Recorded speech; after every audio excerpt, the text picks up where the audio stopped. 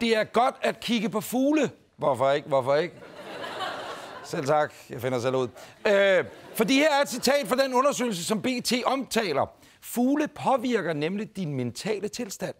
Et engelsk studie foretaget i samarbejde mellem ornitologer og psykologer viser, at folk, der bruger tid på at kigge på fugle, har mindre chance for at få sygdomme som stress, angst og depression. Det er jo interessant.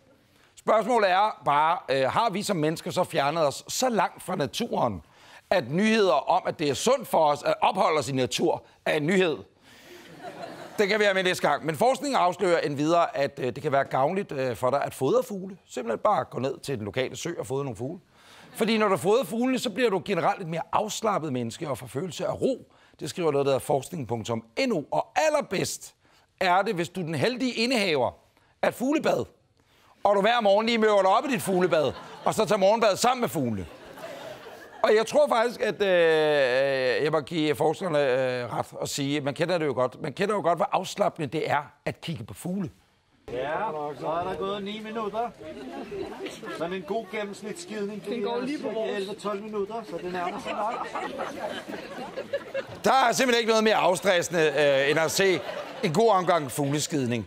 Og jeg vil sige, det er også min personlige oplevelse. Øh, fordi vi kender jo alt det der med, at man bare har en stressende hverdag til tider, og det moderne samfund, øh, det hele går bare så stærkt.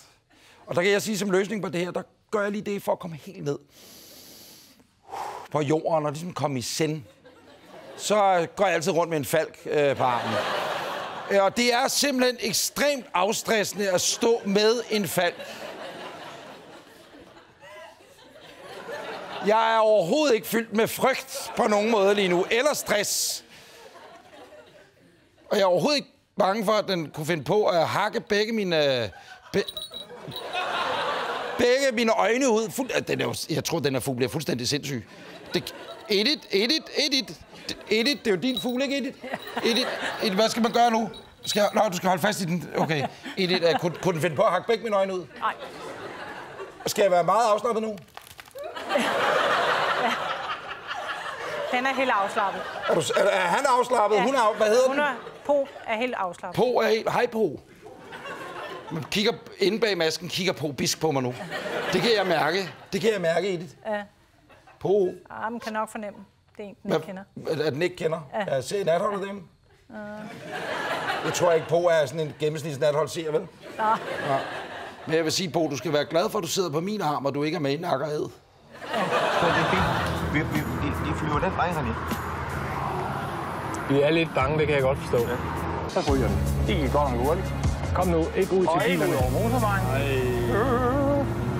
Det kan vi ikke lide, det kan vi ikke lide, det der. Ej,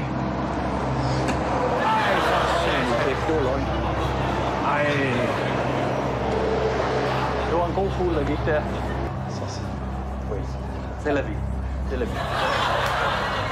Det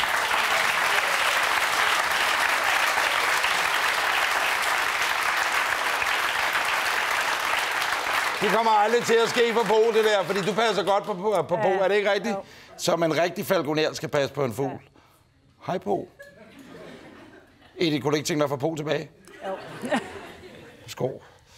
Oh. Pas på, han tager din arm! Han tager din, han tager din arm! Han tager din arm! Edith, pas på!